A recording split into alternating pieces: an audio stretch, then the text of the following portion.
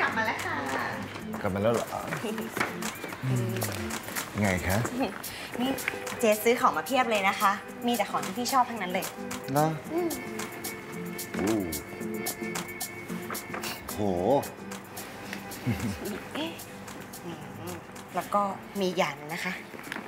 อะไรอะคะอืม ไม่ต้องคิดมากนะคะ เป็นแฟนกันก็ต้องดูแลกันค่ะ ดูแลอะไรอะ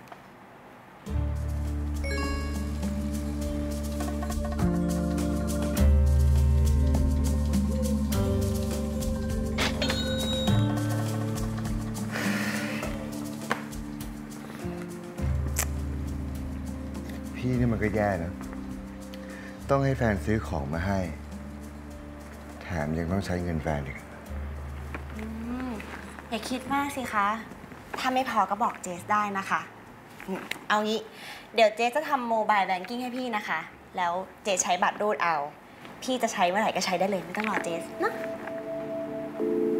ไม่คิดมากนะ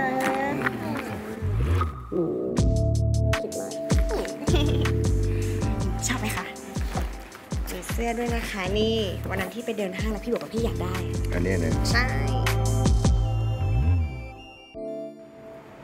คุณผู้หญิงครับ ผมต้องขอโทษด้วยนะครับ บัตรรุ่นไม่ผ่านครับนี่เครื่องเสียหรือเปล่าคะ นี่ไม่บัตรเดบิตนะ เมื่อเช้าพี่เช็คดูในบัญชียังมีเงินอยู่เลยอะผมลองหลายรอบแล้วนะครับ แต่มันไม่ผ่านจริงๆครับ คุณผู้หญิงพอจะมีบัตรใบอื่นอีกไหมครับ มันจะเป็นไปได้ยังไงอะเดี๋ยวพี่กดให้ดูเลย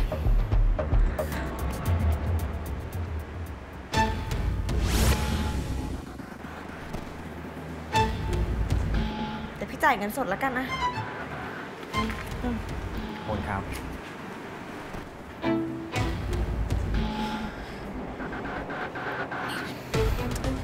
พี่ป๊อปเอาเงินไปใช้อะไรหมดเนี่ย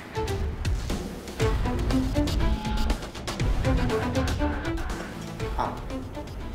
ทำไมมานั่งอยู่ตรงนี้ครับ พี่ป๊อป พี่ป๊อปเอาเงินไปใช้อะไรจนหมดบัญชีอะวันนี้แค่เจ๊จะจ่ายค่าข้าว ยังรูดไม่ผ่านเลยอะ เออคืออย่างนี้นะแจ๊คคือพี่เอาเงินไปจ่ายเงินเดือนพนักงานบริษัท เจ๊ก็รู้ใช่ไหมว่าบริษัทกำลังฟื้นเนี่ย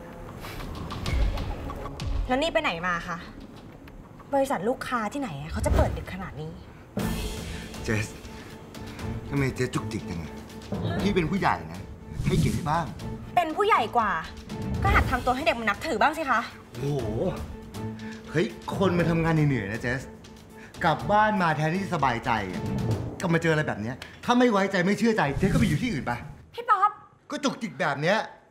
อยู่บ้านคนเดียวไปเลยไปพี่ป๊อ